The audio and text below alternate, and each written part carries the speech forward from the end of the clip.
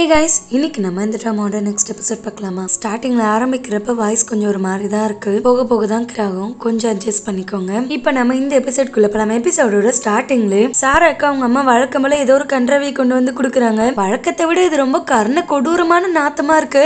அம்மா என்ன அளவுதாம்மா இது. என்னால இதோட ஸ்மெல்லுக்கே குடிக்க முடியலமா ப்ளீஸ்மா கொண்டு போனா. ஐயோயோ இது கிடைக்காத மூலிகை. ஒரு வாட்டி குடிச்சு பாரு. ஸ்கின் எல்லாம் மாறுறது உனக்கே தெரியும். ஒழுங்கா குடின்னு அவளை அதட்டி ஒரு வழியா குடிச்சு வேலைக்கு அனுப்பி விட்டுறாங்க. ஈரோட டிரைவருக்கு ஏதோ எமர்ஜென்சியா வேலை வரவே ரெண்டு வாரம் நான் வேலைக்கு வர முடியாதுன்னு இவளுக்கு தான் கால் பண்ணி சொல்றாங்க. அவங்க அம்மா கொடுத்த அந்த டீடாக்ஸ் ஜூஸ் ஏதோ வேலையை காட்ட ஆரம்பிக்குது. இவளுக்கு லைட்டா வயிறு வலிக்கிற மாதிரி இருக்கு. ஹீரோ வேற குட்டி பிள்ளைக்கு ஸ்போர்ட்ஸ் டேவர் தான் எப்படி ஓடணும்? என்ன ஏதுங்கிறத சொல்லி கொடுத்துட்டு இருக்கான். குட்டி பிள்ளை அப்பா உங்களுக்கு ஒண்ணுமே தெரியல. ஓடுறது இப்படி ஓடணும். என்னப்பா இவ்வளவுதான் நீங்க படிச்சீங்களான்னு கேட்டதோ சாராவே சிரிக்கிறா. ஹீரோ ஏ இல்லடா நீ சின்ன பையன்ல. அதனால உனக்கு பேசிக் லெவல்ல தான் சொல்லி கொடுத்துருப்பாங்க. அப்பா எல்லாம் அந்த காலத்துல எவ்வளவு கெத்து தெரியுமா? ஓட்டின்னு வந்துட்டா ஜெயிச்சுட்டு மட்டும்தான்டா வெளில வருவேன். நீயும் அப்படிதான் இருக்கணும்னு சொல்லிட்டு இருப்பாங்க. சாரா ஹீரோ கிட்ட புது டிரைவர் வருவாங்க சார் நம்ம டிரைவருக்கு கை உடஞ்சிருச்சான்னு சொல்றா. பாவம் அவருக்கு கை உடஞ்சிருக்கு. அதனால தான் அவரால் வர முடியல. ஈரமும் சரி ஓகேன்ட்டு குட்டி பிள்ளைய அங்கிருந்து கூட்டு போயிட்டான். சித்தி எங்கேயோ வெளில போகணுமா சரி டிரைவரை கூப்பிடுமா? நான் கிளம்புறேன்னு வாங்க. சாரா இல்ல. டிரைவர் இப்போதைக்கு வர முடியாது. அவருக்கு கை உடஞ்சிருக்கான்னு சொல்லுவா. ஐயோ நான் இப்போ எமர்ஜென்சியா போயாகணுமே ப்ளீஸ் நீ கொஞ்சம் வண்டியை ஓட்டிட்டு வரேன்னு கேக்குறாங்க. இவ அச்சோ என்னால முடியாது. ஏன்னா குட்டி பிள்ளைக்கு ஸ்போர்ட்ஸ் ஈவெண்ட் இருக்கு. நான் அதுக்கு போயாகணுமேன்னு கேக்குறா. சித்தி அது மதியம் தானே? என்னை விட்டுட்டு நீ வந்துரு. வரப்ப நான் இப்ப நான் அட்ஜஸ்ட் பண்ணி வந்துடுறேன். அவ்வளோ ஒன்றும் லேட் ஆகுதுமா? வா சட்டுன்னு கிளம்பலான்னு கிளம்புறாங்க. இவளுக்கு வேற வயிறு ஹெவியா வேலையை கட்ட ஆரம்பிக்குது. வண்டியை ஓட்டவே முடியல. எசுக்கு பசுக்கா வண்டி ஓட்டிட்டு இருக்கா. சித்தி உன்னை வற்புறுத்தி கூப்பிட்டதுனால என்ன கொல்ல பாக்குறியா என்ன? என்ன தானே உனக்கு பிரச்சனைன்னு கேக்குறாங்க? ஒரு கட்டத்துக்கு மேல அவளால தாங்க முடியல. வயிறு ஹெவியா வலிக்க ஆரம்பிச்சிச்சு. அதனால சித்தி கொண்டு போய் ஹாஸ்பிட்டல்ல அட்மிட் பண்ணி விட்டாங்க. அவங்க அம்மா வராங்க. என் பொண்ணுக்கு என்ன ஆச்சு என் பொண்ணுக்கு என்ன ஆச்சுன்னு பின்ன காஞ்ச மாடு கம்பள மேஞ்ச மாதிரி உன் பொண்ணு எல்லா கருமத்தையும் தின்னா இப்படிதான் ஆகும். அவளுக்கு ஃபுட் பாய்சனா இருக்கு. அப்படி என்ன தெரியும் நீ கொடுத்தேன்னு கேக்குறாங்க? இல்ல நான் எதுவுமே கொடுக்கலன்னு போய் சொல்றாங்க. சாரா அம்மா உண்மையை சொல்லு. நீ எனக்கு ஒரு டீடாக்ஸ் ஜூஸ் கொடுத்தல. அதுல என்ன கலந்துருக்கன்னு கேட்டா உண்மையாவே அவ சொன்ன மாதிரி அது கருமம் தான் பள்ளி தோல் பாம்போட விஷம் பூரா அது இதுன்னு என்னென்னத்தையோ போட்டிருக்காங்க. அதை கேட்டதும் சாராக்கு கொமட்டிருச்சு ஹீரோ என் குட்டி பிள்ளையோட ஸ்போர்ட்ஸ் ஈவெண்ட்டுக்காக கிளம்புறா. ஹீரோ நானும் வரேன்னு வரா. இவன் நீங்க எப்படி சார் வர முடியும்? இப்போ உங்களுக்கு மெமரி லாஸ் இருக்கிறது எல்லாருக்கும் தெரிஞ்சுச்சுன்னா நாளை பின்ன கம்பெனிக்கு பெரிய இஷ்யூ ஆகிடும். சாரா வரேன்னு இருக்காங்க? நாங்க அவங்கள கூட்டு போறோம். நீங்க வீட்லயே இருங்கன்னு சொல்கிறான் ஹீரோ சாராவே ஹாஸ்பிட்டல்ல கிடக்க. அவ எங்கிருந்து வர்றது? நிறைய கேம்ஸ் அப்பா பிள்ளை டீம் அப் பண்ணி விளையாடுற மாதிரி தான் இருக்குமாமே என் பிள்ளை என்ன மிஸ் பண்ண மாட்டானா? வெளியில யாருக்கோ தெரியாத மாதிரி நான் சீக்கிரட்டா மெயின்டைன் பண்ணிக்கிறேன்னு சொல்றான். ஹீரோயினும் இதுக்கு மேல சொல்றதுக்கு என்கிட்ட எதுவும் இல்ல சார் ஏன்னா இப்ப சாராவும் இல்லைங்கிறீங்க. நீங்க தான் உங்களை பாத்துக்கணும் கொஞ்சம் யோசிச்சு நடங்க. நீங்க அவசியம் வந்துதான் ஆகணுமான்னு கேக்குறா.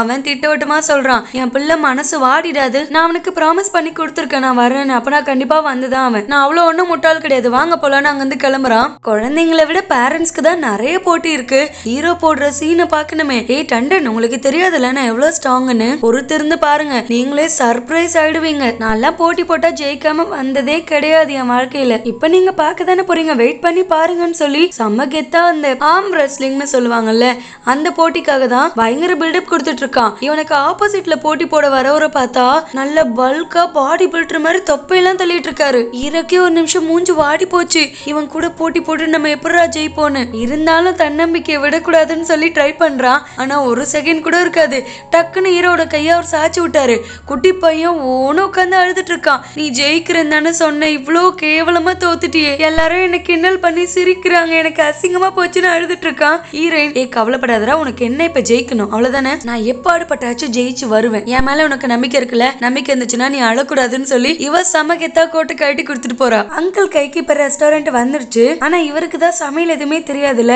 இப்பதான் பழகிட்டு இருக்காரு. ஓரளவுக்கு நல்லாவே இருக்கு ஃபுட்டு இப்ப மீமி எல்லாருக்கிட்டயும் சொல்றா நான் என்னோட ஃப்ரெண்டு கூட தங்கிக்கலான்னு இருக்கேன். வந்து வந்து போகிற செலவு இல்லாம எனக்கும் கொஞ்சம் ஸ்ட்ரெஸ் ஃப்ரீயா இருக்கும்னு சொல்றா. பாட்டிமாக்கு மட்டும் லைட்டா வருத்தமா இருக்கு. சித்திக்காரி ஆமா அதுவும் நல்லதுதான். ஜாலியா போய் இருந்துட்டு வா அப்படின்னு சொல்லிடுறா. மீமியும் எல்லாத்தையும் பேக் பண்ணிட்டு ஜூனோ கூடவே வந்துட்டா. ஜூனோ இவளுக்காக நிறைய ப்ரிப்பேர் பண்ணி வச்சிருக்கான். கியூட்டா இவங்க ரெண்டு பேரும் அவங்க லைஃப ஸ்டார்ட் பண்ணிட்டாங்க. ஹீரோயின் பிசிக்கலியும் சரி மென்டலியும் சரி. ஓரளவுக்கு ஸ்ட்ராங்கா தான் இருப்பா. அவ சொன்ன மாதிரியே ரெண்டு ரவுண்டும் ஜெயிச்சிட்டா. இன்னும் ஒரே ஒரு ரவுண்டு மட்டும்தான் இருக்கு. ஹீரோ தான் தோத்தாலும் இவ ஜெயிக்கணும்னு என்னென்னமோ டிப்ஸ் எல்லாம் கொடுத்துட்டு இருக்கான். இவங்க நம்பிக்கையா காத்திருந்தா அங்க வரவங்க பார்த்தா அப்படியே பல்கா ஒரு ஆன்டி எல்லாருக்குமே ஒரு நிமிஷம் அல்லே விட்டுருச்சு. ஆனா ரொம்ப கஷ்டப்பட்டு ஹீரோயின் அவங்களே ஜெயிச்சிட்டா. செம்ம குஷியாகிட்டு இவங்க மூணு பேருக்கும் ஹீரோயின் அவளோட கண்ட்ரோல மீறி ஓடி போய் ஹீரோ அணைச்சிக்கிறா ஹீரோவும் எதுவுமே யோசிக்கல. இவளை அணைச்சிட்டு மூணு பேரும் சுத்திட்டு இருப்பாங்க. அதுக்கப்புறமா அப்புறமா தான் ரெண்டு பேருமே ரியலைஸ் பண்ணிட்டு இருக்காங்க எல்லாம் மீறி போயிட்டோமோன்னு இந்த ஸ்குவிட் கேம்ல இருக்க எல்லா கேமையும் பொறுக்கி போட்டு இதுல வச்சிருக்காங்க. ஹீரோ யார்கிட்ட தோத்து போனானோ அதே அங்கிள ஹீரோன் இப்ப ஜெயிச்சுட்டா சின்ன வயசுல இந்த வடையோ பண்ணோ எதனா கட்டி தொங்க விட்டுருப்பாங்க. கையை யூஸ் பண்ணாமலே சாப்பிடணும்ல. அப்படி ஒரு கேம் தான் ஹீரோயின் ஹைட்டா இல்லாததுனால அதை எக்கி எக்கி ட்ரை பண்ணிட்டு இருக்கா ஹீரோ அவனோட சாப்பிட்டுட்டு எவ்வளவு கியூட்டா ட்ரை பண்றலன்னு அவளையே ரசிச்சு பார்த்துட்டு இருப்பான் எக்கி எடுக்கிறன்னு ஹீரோ ஒரு இடி இடிச்சு கீழே தள்ளி விட்டுறா ஹீரோவோட மூக்கே பஞ்சர் ஆகிட்டு ரத்தம் கொட்டி தீக்குது. இப்ப பயந்து துடிச்சிட்டு கிடக்க இந்த பைய பாட்டு ஈனி இழிச்சிட்டு இருக்கான். குட்டி பிள்ளை ஹீரோயின் தான் வீட்டுக்கு வராங்க. மேடக்கா என்னடா எல்லாமே சூப்பரா போச்சான்னு விசாரிக்கிறாங்க. குட்டி பையன் எல்லாத்துலயும் நானும். மிஸ் பார்க்கும் தான் ஃபர்ஸ்ட் பிரைஸ் வாங்கணும். அவங்க கெத்து அப்படி இப்படின்னு பேர் வச்சவங்க. லாஸ்டா அவங்களுக்கு கல்லு மண்டைன்னு பேர் வச்சு அமுச்சு விட்டுருக்காங்க. ஒரு இடிதான் எங்க அப்பாவை. மூக்குல இடிச்சு எங்க அப்பாவுக்கு மூக்கு உடஞ்சதுதான் மிச்சம்னு சொல்லி கிண்டல் பண்ணி சிரிச்சுட்டு இருக்கான். ஐயோ ஹீரோவை ஹாஸ்பிட்டல்ல இருந்து அட்மிட் பண்ணிருக்கீங்களா? இப்ப அவர் வரலையான்னு விசாரிக்கிறாங்க. ஹீரோயின் அப்படிலாம் எதுவும் இல்ல. மனுஷன் ஐஸ்கிரீம் சாப்பிடணும் போல ஆசையா இருக்குன்னாரு. அதனால அவர் விட்டு நாங்க வந்தோன்னு சொல்லிட்டு அங்கேருந்து கிளம்பிட்டா இவங்களோட டிரைவர் இப்போ லீவ் இல்ல.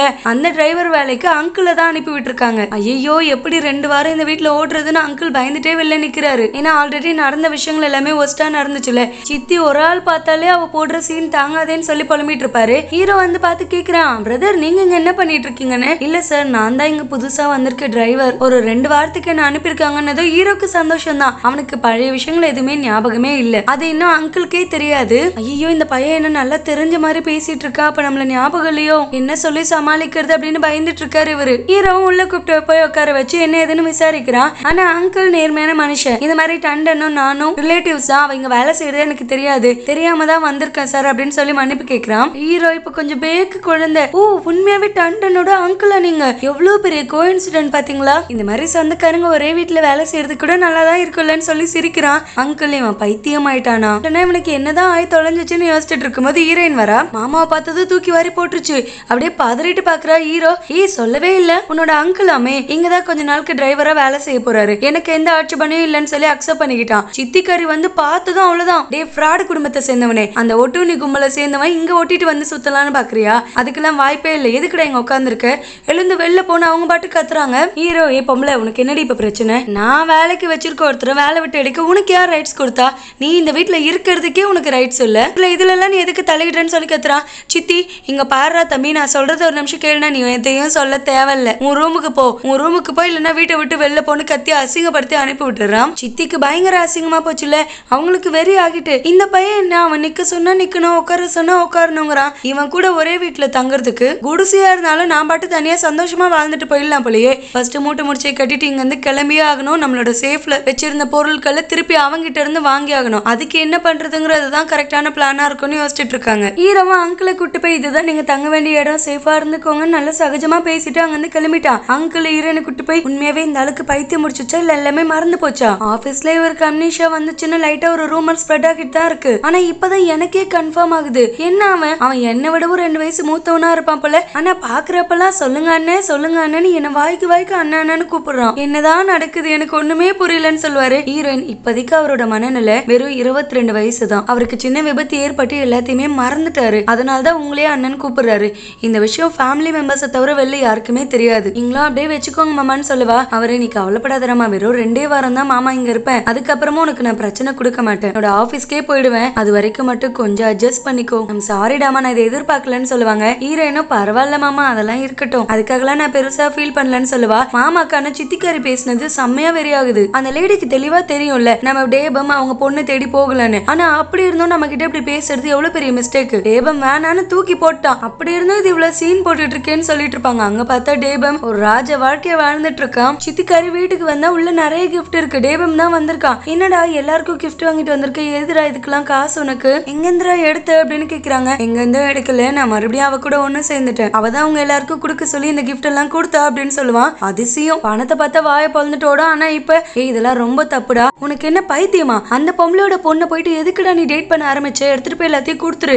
முட்டாள்தனமா பண்ணாதேன்னு சொல்றாங்க. அம்மா இது என்னோட பர்சனல் அதுல நீங்க தலையிடாதீங்கங்கிறான். இவங்க ஏய் முட்டா பையில ஆல்ரெடி கல்யாணம் ஆனவடா. அந்த பொண்ணு கூட போய் இப்ப சுத்திட்டு இருக்கங்கிற? ஐயோ என்னடா நீ இப்படி பண்ணிட்டு இருக்கனதுக்கு அவளுக்கு கல்யாணமே ஆகல. கல்யாணம் நின்னு போச்சு. நான் என் மைண்ட்ல ஸ்ட்ராங்கா இருக்கமா நான் அவளை தான் டேட் பண்ணுவேன். நான் உங்ககிட்ட பெர்மிஷன் கேட்டு இப்ப இங்க வரல. உங்ககிட்ட சொல்லிட்டு போக மட்டும்தான் வந்தேன். என் வாழ்க்கை எப்படி வாழணும்னு எனக்கு தெரியும். ஆல்ரெடி சிக்கன் வித்து என் பொழப்பு எப்படி போச்சுன்றது உங்களுக்கு நல்லா தெரியும். இப்ப அப்பா ஆரம்பிக்க போற பிசினஸ் சக்சஸ் ஆகுமோ இல்லையோ? ஆனா மறுபடியும் அதே வேலையில வந்து உட்கார. விளையாடுறதுக்கு எனக்கு தலையெழுத்து கிடையாது. இந்த பணத்தை வச்சுக்கோங்க. இதுக்கு மேல எனக்கு காலோ மெசேஜோ பண்ணாதீங்கன்ட்டு அவன் பாட்டு அங்கிருந்து கிளம்புறான். பின்னாடியே ஓடி வந்து பாக்குறாங்க. நாம கார் எடுத்துட்டு அங்கிருந்து போயிட்டான். அந்த பணத்தை வச்சு பார்த்துட்டு இருப்பாங்க. எவ்வளவுதான் கொடுத்துட்டு போயிருக்காங்க அவங்க அப்பா வராரு ஏது இவ்வளவு பணம் கிஃப்ட் எல்லாம்? எங்க இருந்து கிடைச்சதுன்னு கேட்பாங்க. இந்த மாதிரி டேபம் வந்தா அந்த பொண்ணு கூட மறுபடியும் சேர்ந்துட்டானா? இதெல்லாம் கொண்டு வந்து கொடுத்துட்டு போயிருக்காங்க அப்படின்னு சொல்றாங்க. ஹீரோவுக்கு ஹீரோயின் ஞாபகமாவே இருக்கு. அவளை ரகசியமா பாக்கலான்னு வெளியில வருவான். ஹீரோயின் அவளோட ஃப்ரெண்ட் அந்த பையன் கூட போன்ல பேசிட்டு போறா. ஃபர்ஸ்ட் டைம் நான் வரப்போறேன். அந்த ஹோட்டல் தானே நான் வரேன் எனக்கு பிரச்சனை இல்லைன்னு சொல்லிடுறா. ஹீரோ அதை கேட்டுட்டு அதுக்குள்ள அந்த பையன் கூட ஹோட்டல் வரைக்கும் போறியா? நான் இருக்க வரைக்கும் கண்டிப்பா உன்னை போக மாட்டேன்னு அந்த ஹோட்டலுக்கு வெளியிலவே இவங்க எப்போ வருவாங்கன்னு காத்திருக்கான். இவன் வந்ததும் மறைஞ்சு மறைஞ்சு அவனும் உள்ள வந்து நின்று பார்த்துட்டு இருக்கேன். என்ன பேசுறாங்கன்னு. ஹீரே ஏய் ஃப்ளவர்ஸ் ஒயின் எதுவுமே வாங்கவே இல்லை. நான் போய் வாங்கிட்டு வரேங்கிறா. அந்த பையன் அது ஹோட்டல்லே கொடுப்பாங்க. எதுக்காகவும் நீ வெளில போய் டைம் வேஸ்ட் பண்ண வேண்டாம். வான்னு சொல்லி அங்கிருந்து கூட்டு போறான். என் டண்டன் எனக்கு போய் இப்படி ஒரு துரோகத்தை பண்ணலாமா? எவ்வளவு பாவம் அப்படின்னு அழுகவே செஞ்சுட்டான். அங்க ஹீரோயின் ஃப்ரெண்ட் ஒரு பொண்ணுக்கு கல்யாணம் ஆக போகுது. அந்த பொண்ணு இவ கூட படிச்ச பொண்ணு பிள்ளை அதுக்காக சின்ன பார்ட்டி மாதிரி கொடுக்குறா. அதுக்கு தான் இவ வந்திருக்கா. அது தெரியாம இந்த குழந்தைங்க விளையாடல சொப்பு. அந்த சொப்பை கையில வச்சுட்டு வரான். என்னோட டண்டன் எவ்வளவு இன்னசென்ட் தெரியுமா? அவளை காப்பாத்துறது என் கையில மட்டும்தான் இருக்கு. அவனுக்கு நான் யாருன்னு காட்டணும்னு அந்த கையில இருக்க டூல் வேற செம்ம காமெடியா இருக்கு. அதை வச்சுட்டே வில்லத்தனமா டயலாக் பேசிட்டு வர எதிரில் ஹீரோயின் அவங்க ஃப்ரெண்ட்ஸ்னு மொத்தமா வந்து நிக்கிறாங்க. ஹீரோயின் மிஸ்டர் லீ நீங்க இங்க என்ன பண்ணிட்டு இருக்கீங்கன்னு கேக்குறா. ஹீரோ டக்குன்னு அந்த சொப்பை மறைச்சிட்டு ஐயோ நான் ஃப்ளோர் மாத்தி வந்துட்டேன்னு நினைக்கிறேன். டண்டன் உங்க ஃப்ரெண்ட்ஸ் கூட நீங்களும் இங்க மீட்டிங்காக வந்தீங்களா? சரி சரி நீங்க என்ஜாய் பண்ணுங்க. நான் கிளம்புறேன்னு அங்க இருந்து ஓடிட்டான் ஹீரோயின் ஃப்ரெண்டு யாரு தான் அவரு என்னென்னமோ பேசிட்டு போறாரு? என்ன நடக்குதுங்கன்னு கேக்குறான் ஹீரோயின் நான் அப்புறமா எது வந்தாலும் சொல்றேன். இப்போ நான் கிளம்புறேன்ட்டு அங்க இருந்து கிளம்பி வந்து ஹீரோ பிடிச்சு கேக்குறா. என்ன பண்ணிட்டு இருக்கீங்க நீங்க ஒரு நிமிஷம் நில்லுங்க. உங்ககிட்ட பேசணுங்கிறா. முகத்தை பொத்திட்டு அவன் பாட்டு போறான். சின்ன பாட்டி என்னதான் சார் பண்ணிட்டு இருக்கீங்க எதுக்காக இங்க வந்தீங்க? அதை சொல்லிட்டு அதுக்கப்புறமா போங்கன்னு சொல்லி நிப்பாட்டுறா. ஹீரோ இல்லம்மா. எனக்கும் என் லாயர் ஃப்ரெண்டுக்கும் ஒரு அப்பாயின்மெண்ட் இருந்துச்சு. அவனை பாக்குறதுக்காக தான் வந்தேன். திடீர்னு நான் எங்க போகணுங்கிற வழியவே மறந்துட்டேன். இந்த இடத்துக்கு வந்து உன்னை மீட் பண்ணிட்டேன். இப்போ நம்ம மீட் பண்ணதெல்லாம் அன்எக்ஸ்பெக்டட் தான் தெரியுமா? நான் எதிர்பார்க்கவே இல்லை. இப்படிலாம் கூட ஒரு விஷயம் நடக்குமான்னு கேட்கவே செம்ம ஆச்சரியமா இருக்குல்லங்கிறா.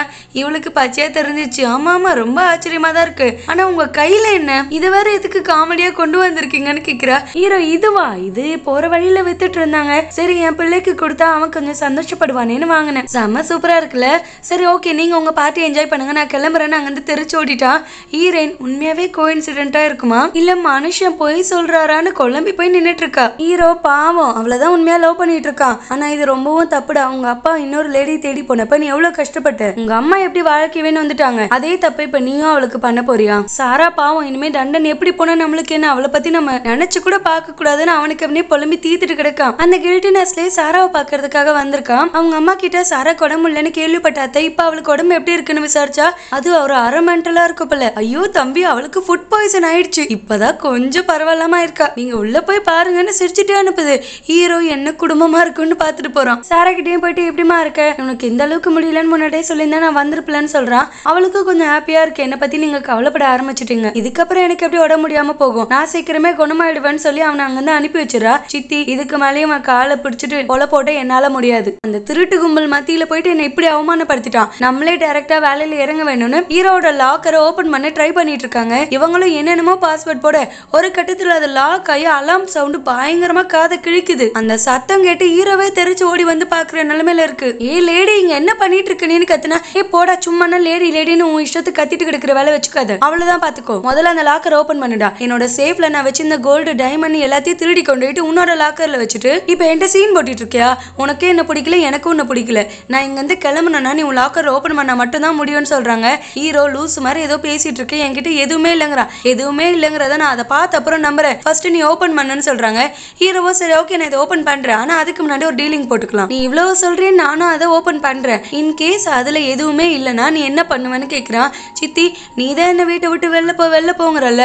அடுத்த செகண்ட் இந்த வீட்டை விட்டு நான் வெளில போவேன்டா உன் மூஞ்சில முழிக்கணும் நீ அவனுக்குடா ஆசைன்றாங்க ஹீரோ ஓபன் பண்ணிட்டு சரி ஓபன் பண்ணிட்டு போய் பாருன்னு பார்த்தா அங்க ஒண்ணுமே இல்ல. வெறும் டாக்குமெண்ட்ஸ் தான் இருக்கு.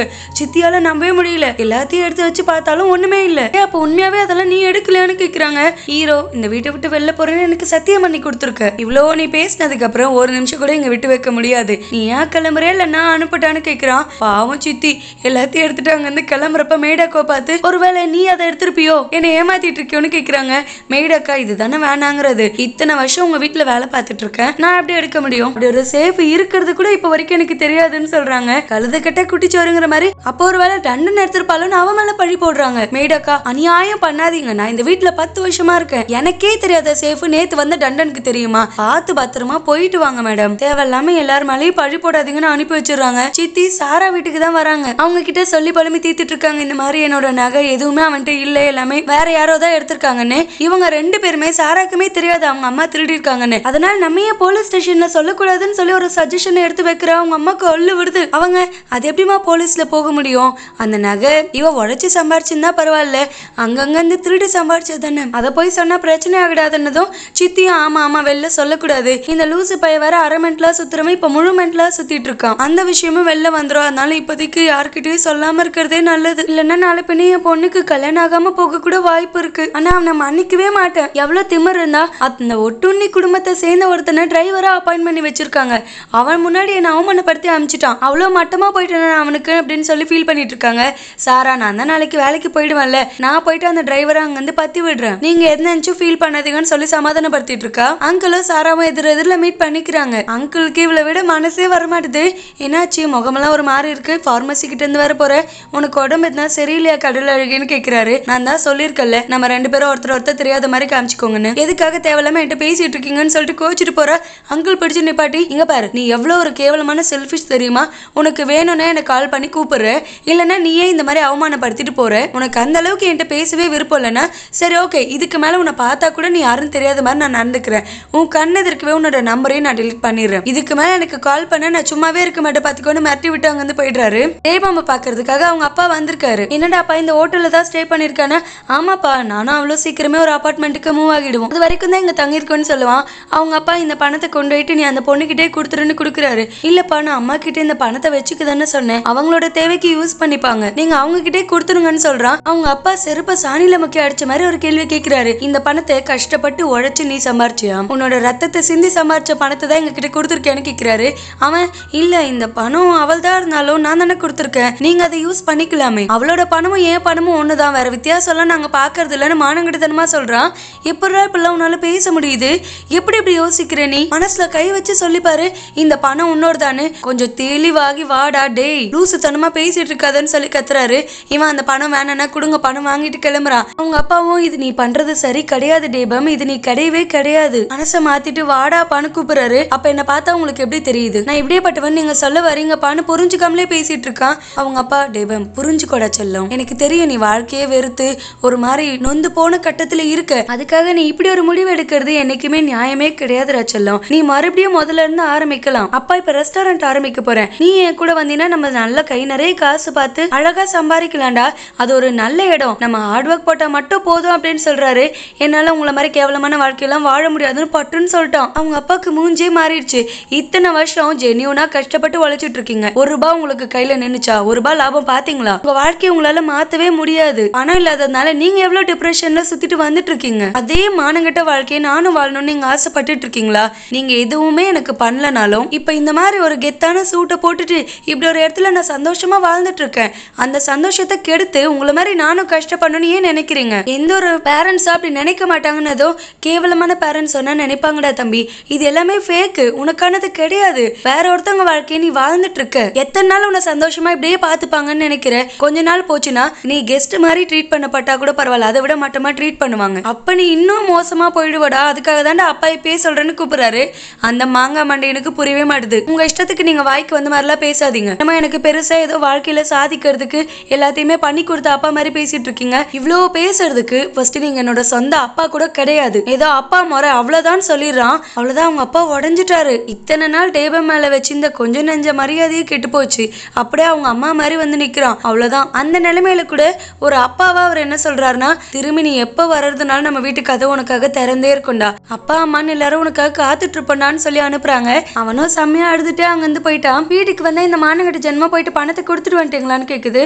கொடுத்துட்டேன்னு சொன்னா எதுக்கு நம்மளுக்கு தேவைக்கு யூஸ் பண்ணிக்க தானே கொடுத்தான் அந்த பணத்தை போய் எதுக்கு கொடுத்துட்டு வரணும்? நம்மளுக்கு இப்ப பணம் தேவைப்படுது தானேன்னு சொல்லுது. இப்பதான் இந்த பாட்டி ஒரு அம்மாவா தெளிவான அட்வைஸா கொடுத்துருக்காங்க. இந்த காலத்துல பணத்துக்கு கூட கண்ணு இருக்குடி. பணம் எந்த வழியில வந்தாலும் வாங்கி போட்டுக்கலாம்னு அர்த்தம் கிடையாது. சில பணத்தை நம்ம கையால தொட்டாலுமே நம்மளுக்கு பிரச்சனை மட்டும்தான் வரும். அந்த மாதிரி பணம் தான் அது. என்னமோ புள்ள கஷ்டப்பட்டு உழைச்சு கொடுத்த மாதிரி ஃபீல் பண்ணிட்டு இருக்க. நீ பண்ணதான் தம்பி? கரெக்ட் அந்த படுபாவி பயலாச்சும் எதுவுமே இல்லாம நம்ம வீட்டுக்கு வரேன்னு சொன்னானா அப்படின்னு கேக்குறாங்க.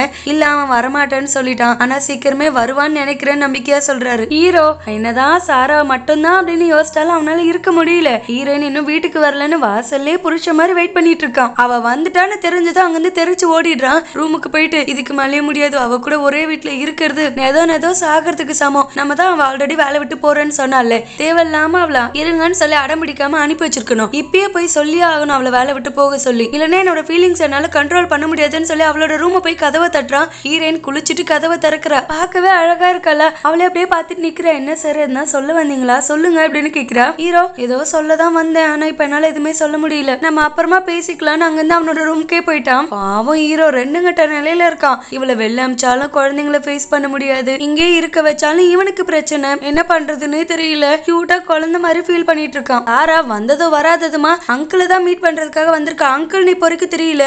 இப்போ பார்த்ததும் தூக்கி வரி போட்டுருச்சு. நீங்க இங்க என்ன பண்ணிட்டு இருக்கீங்க? என்ன ஃபாலோ பண்ணி இங்க வந்தீங்களான்னு கேக்குறா. அங்கிள் நீ அந்த அளவுக்குலாம் இமேஜினேஷனுக்கு போக வேண்டாம். நீங்க வேலை பாக்குறேன்னு எனக்கு தெரியாது பிள்ளை. கம்பெனில இருந்து டைரக்டா அனுப்பி வச்சாங்க ஒரு ரெண்டு வாரத்துக்கு. அது முடிஞ்சதும் நானே போயிடுவேன்னு சொல்லுவாரு. இவ ஐயோ நீங்களும் நானும் ஒரே இடத்துல இருக்கிறதுலாம் செட் ஆகாது. நீங்க இந்த வேலை விட்டு இப்பயே போயாகணும்னு சொல்றான் அங்கிள் நீ என்ன அவ்வளவு தைரியமா சொல்ற? என்னால போக முடியாது. எப்படி பார்த்தாலும் நம்ம ஸ்ட்ரேஞ்சர்ஸ் தானே. சோ அப்படியே காமிச்சுப்போம். உனக்கு வேணா நீ வேலை விட்டு போய்க்கோன்னு திட்டவட்டமா சொல்லிடுறாரு. இதுக்கு மேல இவர்கிட்ட பேசினா வேலைக்காகுதுன்னு கம்பெனிக்கே கால் பண்ணி இப்போ ஒரு டிரைவர் அனுப்பியிருக்கீங்கல்ல இங்க இருக்க டேர்ம்ஸ் அண்ட் கண்டிஷனுக்கு அவர் செட் ஆகல. வேற ஆள் அனுப்புங்க. அவரை வேலை விட்டு தூக்கிருங்கிறா அவரோட பொழப்பே கெடுத்து விட்டா. அங்கிளும் பேக் பண்ணிட்டு கிளம்புறதுக்கு முன்னாடி ஹீரோவை பார்த்து என்ன வேலை விட்டு தூக்கிட்டாங்க சார் வேற டிரைவர் சீக்கிரமே வருவாங்கன்னு கோத்து விட்டுறாரு. யார் பண்ணான்னு கேட்டா கம்பெனில இருந்து சாரா தான் பண்ணாங்கன்னு சொல்லிடுறாங்க. ஹீரோ சாரா கிட்ட போயிட்டு நீ தான் கம்பெனிக்கு கால் பண்ணி சொன்னியா? வேற டிரைவர் மாத்த சொல்லி. யார கேட்டு நீ சொன்னேன்னு கேட்டா இல்ல சார் அவருக்கு அவ்வளவு எக்ஸ்பீரியன்ஸ் இல்ல. அதனால தான் நான் வேற ஆள் அனுப்ப சொன்னேன் அப்படின்னு சொல்றா. ஹீரோ பதினஞ்சு வருஷம் அவருக்கு எக்ஸ்பீரியன்ஸ் இருக்கு. அதை தவிர வேற என்ன வேணும்? அது மட்டும் இல்லாம இந்த மாதிரி எதனா முடிவு எடுக்கிறப்ப நீ ஏன் கிட்ட டிஸ்கஸ் பண்ணணும். நீ ஏன் முடிவு எடுக்கிறது உரிமை உனக்கு யார் கொடுத்தா? நான் சூஸ் பண்ண டிரைவரை தூக்குற அளவுக்கு நீ பெரிய ஆள் ஆயிட்டியா? நாளை பின்ன எனக்கு கல்யாணமே ஆனாலும் சரி இந்த மாதிரி உன் இஷ்டத்துக்கு முடிவுகளை எடுத்தீங்கன்னா நான் சும்மா இருக்க மாட்டேன். உன்னோட லிமிட் குள்ள பாத்து இருந்துக்க பாருன்னு சொல்லி கத்தி விட்டு அங்க இருந்து போயிடுறான். இவளுக்கு ஒரே அசிங்கமா போச்சு. ஒரு டிரைவருக்காக நம்மள இந்த அளவுக்கு பேசிட்டு போறாரு. வேற எதனா வழி பண்ணி தான் அவர் அங்கிருந்து அனுப்பி வைக்கணும் அப்படின்னு சொல்லி பிளான் போட்டுட்டு இருக்கா மேட் அக்கா தங்கம். அந்த அக்கா போய் தான் நீங்க கவலைப்படாதீங்க தம்பி. இதுக்கு மேல நீங்க இங்கே இருக்கலாம். உங்களுக்கு எது வேணாலும் என்கிட்ட கேளுங்க. நான் சமைச்சு கொடுப்பேன். அவங்க எதனா சொன்னா பொருட்படுத்தாதீங்க அப்படின்னு சொல்லுவாங்க. சரி அவங்க யார் தான் இங்க இங்க அவங்களும் வேலை பாக்குறாங்களா அப்படின்னு விசாரிக்கிறாரு சாராவை பத்தி. இப்பதான் அவளோட பேரே கேட்டு தெரிஞ்சுக்கிறாரு. அக்காவும் சாரா ஈரவ கல்யாணம் பண்ணிக்க போறவன்ற அந்த விஷயத்தெல்லாம் சொல்லிட்டு போறாங்க. சாரா சரி அப்படி பேசி சரி கட்ட முடியல இவர அதனால நம்மளே பேசுவோம்னு அங்கிளை கூப்பிட்டு விட்டு கொஞ்சம் காசு கொடுத்து இந்த வேலை விட்டு மட்டும் போயிடுங்களேன். என் வாழ்க்கைக்கே பிரச்சனை ஆகிடும்னு சொல்றா. அங்கிள் என்னால இந்த வேலையை மட்டும் விட்டுற முடியாது. நம்ம ரெண்டு பேர் ஸ்ட்ரேஞ்சர்ஸ் நீ ஃபிக்ஸ் ஆகிட்ட. அதை மாத்தி நீ பேச வேண்டிய அவசியமே இல்லை. ஏன்னா உன்னை தெரிஞ்ச மாதிரி எந்த ஒரு சூழ்நிலையிலுமே நான் காமிச்சிக்க மாட்டேன். தயவு செஞ்சு அதை மட்டும் புரிஞ்சுக்கோங்க. உங்களுக்கும் நான் யாருன்னு தெரியாது எனக்கும் நீங்க யாருன்னு தெரியாது. அப்படியே இருங்கன்னு சொல்லிட்டு போறாரு. சாரா எதுக்கு அங்கிளை நினைச்சு இந்த அளவுக்கு பதறாங்கிறது இப்போ வரைக்கும் புரியவே இல்லை. வெளியில சொல்லாம அவங்க ரெண்டு பேருக்குள்ளே இருந்தா சீக்ரெட் இருக்கானோ தெரியல. போக போகதா தெரியும். ஹீரோனோட அப்பாவோட ரெஸ்டாரண்ட்டை ஓபன் பண்ணி செம்மையா போகுது. இவங்க எதிர்பார்த்ததை விட நல்லாவே வியாபாரம் ஆகிட்டு இருக்கு. இவளுக்கு தான் ஆனாவை ரொம்ப பிடிக்கும்ல. அதனால ஆனாவை மறக்காம சிக்கன் ஃப்ரையை பார்சல் அனுப்பி விட்டுருக்கா. அவங்களும் சாப்பிட்டு பார்த்து எனக்கு ரொம்ப பிடிச்சிருக்கு. ஆனா எனக்கு ஒரு ஐம்பது யூனிட் பார்சல் வேணுங்கிறாங்க. இருக்கிறதுலே பல்க் ஆர்டர் அதுவும் ஃபர்ஸ்ட் டேன்னு செம்ம சந்தோஷமாயிட்டா. இருந்தாலும் இல்ல நான் அதுக்காக உங்களுக்கு பார்சல் அனுப்பி விடல. தப்பா புரிஞ்சுக்காதீங்கன்னு சொல்லுவா. நானும் அப்படி சொல்லலமா நான் நிறைய ஆர்ஃபனேஜுக்குலாம் ஹெல்ப் பண்ணிட்டு இருக்கேன் அவங்களுக்கு மாசம் மாசம் எதனா அனுப்புவேன். இந்த மந்த் உங்ககிட்ட இருந்து அனுப்பலான்னு இருக்கேன். ஆர்டர் ரெடி பண்ணிக்கோங்க அப்படின்னு சொல்லிடுறாங்க. தேவம் மனசு கேட்காம மறைஞ்சு நின்று இதெல்லாம் பார்த்து ஹாப்பி ஆகிட்டு இருக்கான். ஆனா இவன் மட்டும்தான் அங்க மிஸ்ஸிங் சாரா ஹீரோ கிட்ட வந்து என்ன மன்னிச்சிருங்க. நான் அப்படி பண்ணிருக்க கூடாது. இனிமே எது வந்தாலும் உங்ககிட்ட கேட்டே பண்றேன். இப்ப நம்ம பார்க்குக்கு டேட்டிங் போலாமா? அங்க போனா நான் உங்களுக்கு நிறைய மெமரிஸ் ரிட்டர்ன் கொண்டு வர்றதுக்கு வாய்ப்பு இருக்குன்னு சொல்லி கூப்பிடுறா. அப்படி கூப்பிடவே ஹீரோவும் சரி ஓகே வா போலான்னு அங்கேருந்து கிளம்புறாங்க. இவங்க ரெண்டு பேரும் அங்கேருந்து கையை பிடிச்சிட்டு வெளில வராங்க. அங்கிள் பாவம் மூஞ்சே மாறிடுச்சு செம ஃபீலிங்கா பாக்குறாரு. பார்க்குக்கு போய் சாராக்கு நிம்மதி இல்ல. அவ ரொமான்ஸ் பண்ணலான்னு கிட்ட நெருங்குவா. ஹீரோ ஐயோ டண்டன் வீட்ல இல்ல. குழந்தைங்க கூட நான் விளையாடுறேன்னு சத்தியம் பண்ணி கொடுத்துருக்கேன். வீட்டுக்கு ஓடுறேன்னு அவன் பாட்டு ஓடிட்டான். பாவம் வழக்கம் போல இவளும் ஒப்புக்கு சப்பானுக்குன்னு பின்னாடியே ஓடிட்டு இருக்கா இங்க கூகியோட அக்கா சித்தியும் சேர்ந்து சாராவோட அம்மாவை டார்ச்சர் பண்ணிட்டு இருக்காங்க. இதை சமைச்சு கொடு அதை சமைச்சு கொடுன்னு. பாவம் அவங்களுக்கு ரொம்ப டயர்ட் ஆகுது. சாரா வீட்டுக்கு வந்தது ஓடி போயிட்டு டி அந்த டிரைவரை வீட்டை விட்டு வெளியில பத்தி விட்டியாடி. இவளை பண்ற டார்ச்சரை என்னால தாங்கவே முடியல. இவளை அனுப்பி விடு எப்படின்னா வழி பண்ணிடுன்னு சொல்றாங்க. சாரா அம்மா இப்போதைக்கு நம்ம இதெல்லாம் தாங்கிதான் ஆகணும். அவசரப்பட்டு நீயே காரியத்துக்கு எடுத்துடாதன்னு சொல்றா. ஹீரோயின் அப்பா இப்ப புதுசா கடை திறந்திருக்காருல்ல அதுக்கு பக்கத்திலே ஒரு ரெஸ்டாரண்ட் வச்சிருக்க அங்கிள் இவரு. அவர் அவங்க பையனே கூப்பிட்டு வந்திருக்காரு இங்க திறப்பு விழாக்காக. அந்த பையன் வேற யாரும் இல்ல ஹீரோயின் ஃப்ரெண்டு தான். உங்களதுல தான்டா எல்லா எபிசோட்லயும் ட்விஸ்டா கொடுத்துட்டு கிடக்காங்க. ஹீரோ ஒரு பக்கம் குழந்தைங்க கூட ஜாலியா விளையாடிட்டு இருக்கான். ரொம்ப நேரம் ஆகி வெயிட் பண்ணிட்டு இருக்க ஹீரோயின் வரவே இல்லை. வழக்கம் போல வாசலுக்கே வந்துட்டான் எங்க இந்த பொண்ணு இன்னும் காணும் இன்னும் காணும்னு? ஹீரோயின் வேற அவங்க ஃப்ரெண்டு கூட தான் வந்திருக்கா. அவ இறங்கி போற நேரம் கண்ணுல ஏதோ டஸ்ட் விழுந்துருமா? ஐயோ கண்ணு எரியுதுன்னு சொல்லுவா. அந்த பையன் வேற ஊத்தி விட்டுட்டு இருக்கான். ஹீரோக்கு வெறி ஆகிட்டு உள்ள போயிட்டு ஓஸ் எடுத்துட்டு வந்தோம் ஃபுல்லா அவங்க ரெண்டு பேர் மேலேயும் தண்ணி ஊத்தி விட்டுறான். ஹீரோயின் என்ன பண்ணிட்டு இருக்கீங்க? நான் தான் தண்டன். எதுக்காக இப்படிலாம் பண்ணிட்டு இருக்கீங்கன்னு கேக்குறா. என்னம்மா காலையில செடிக்கு தண்ணி ஊத்த மறந்துட்டமா அதனால ராத்திரில ஊத்திட்டு இருக்கேன். நீங்க இருந்ததே நான் பார்க்கல தெரியுமா? நான் அபாண்டமா போய் சொல்றான். ஹீரோயினும் சாரிங்க என்ன மன்னிச்சிருங்க அவருக்கு கொஞ்சம் மூல வளர்ச்சி இல்லை. அதனால தான் இப்படிலாம் பண்ணிட்டு இருக்காங்கன்னு சொல்லி அவனோட கோடு தொடச்சு விட்டுட்டு இருப்பா அவனும் கம்ப்ளீட்டா நினைஞ்சிட்டான். பரவாயில்ல இருக்கட்டும் நீ ரொம்ப நினைஞ்சிட்ட உள்ள போய் ரெஸ்டாரண்ட் அங்க வந்து கிளம்பிட்டான். நீங்க வர வர ரொம்ப எல்லை மீறி போயிட்டு இருக்கீங்க எனக்கு செம்மையா கோவம் வருதுன்னு கத்துறா. என்னம்மா உன்னோட பாய் ஃப்ரெண்ட் நினைச்சிட்டான்னு உனக்கு அவ்வளவு கோவம் வருதோ? அவ்வளோ பாசமா உன் பாய் ஃப்ரெண்ட் மேலன்னு கேட்டு ஹீரோயின் அவன் என்னோட பாய் ஃப்ரெண்ட் எல்லாம் கிடையாது. ஜஸ்ட் என்னோட ஃப்ரெண்டு மட்டும்தான். கிட்டலாம் பேசுறது டைம் வேஸ்ட் அங்க மரமே இல்ல மரத்துக்கு தண்ணி ஊத்துறான் நான் ராத்திரி வெள்ளன்ட்டு அங்கேருந்து போறா. பாய் ஃப்ரெண்ட் இல்லைன்னு சொன்னதும் பயலுக்கு அவ்வளோ கொள்ள குஷி. ஐயோ நீ நினைஞ்சிட்ட செல்லம் இரு. என் கோட்டு தரேன்னு கோட்டு எடுத்து போத்த வரான். ஈரேன் அதெல்லாம் ஒன்றும் தேவையில்ல. நான் உள்ள போறேன்னு அங்கிருந்து போயிட்டா அதையே நினைச்சு சந்தோஷப்பட்டுட்டு இருக்கான். பாய் ஃப்ரெண்ட் இல்ல இல்லன்னு. ஹீரோயின் அப்பா இப்பதான் கொஞ்சம் சந்தோஷமா அந்த மனுஷன் சிரிக்கிறாரு. ஏன்னா அவங்க ரெஸ்டாரண்ட் எதிர்பார்த்ததை விட ஃபர்ஸ்ட் டேவே செம்ம லாபம் பார்த்துருக்கு. ஒட்டுமொத்த ஃபேமிலியுமே இதனால செம்ம குஷியில இருக்காங்க. நெக்ஸ்ட் டே மார்னிங் சாரா வேலைக்கு கிளம்பும் போது அவங்க அம்மா ஏய் இன்னைக்காச்சும் எப்படின்னா அவளை கூட கூட்டு போடி. சும்மா நான் இதை பண்ணு அதை பண்ணுன்னு என்னை போட்டு டார்ச்சர் பண்ணிட்டு இருக்கா. நான் எழுந்து உட்கார கூட இல்லை. வந்து போய் காஃபி போட்டு டீ போட்டுன்னுட்டு இருக்கா நான் என்னடி அவளுக்கு வேலைக்காரியாடி? என் நிலமே கொஞ்சம் யோசிச்சுடி அப்படிங்கிறாங்க. இவ புரிஞ்சுக்காம மா நான் தான் சொல்றேன்ல அவங்க சொல்ற வேலையில கொஞ்சம் பாருங்க. எனக்காக இதை கூட பண்ண மாட்டீங்களான்னு இவங்க ரெண்டு பேர் சண்டை போட்டுட்டு இருக்கிறத சித்தி கேட்டுட்டாங்க. ஏ கிஜா என்னடி நினைச்சிட்டு இருக்க நான் என்ன இங்க வந்து பத்து நாள் ஆயிடுச்சு? ஒரே ஒரு நாள். ஒரு நாள் எனக்கு காஃபி டீ போட்டு கொடுத்தே நீ அலுப்பு தட்டிட்டியா? எனக்கு என்ன போக போக இடையில நான் நினைச்சேன். நான் கிளம்புறேன் இப்பயே இங்கன்னு சொல்லி அந்த ரூமுக்குள்ள போய் செம்மையா ஃபீல் பண்ணி அழுகுறாங்க. வேற ஆப்ஷனே இல்லை. கடைசி ஆப்ஷன் தன்னோட பொண்ணு தான் அவளுக்கு கால் பண்ணி அழுது உங்க அண்ணனுக்கு இந்த மாதிரி இருபத்தி ரெண்டு வயசுக்கு போயிட்டான் அதனால என்னை கம்ப்ளீட்டா ஒரு ராட்சசியா மட்டும்தாண்டி பாக்குறான் எல்லாமே மாறி போச்சு. ஒரு நாள் நான் வெளியே தங்கினதுக்கே எனக்கு சீமுச்ச பொழப்பா போச்சு.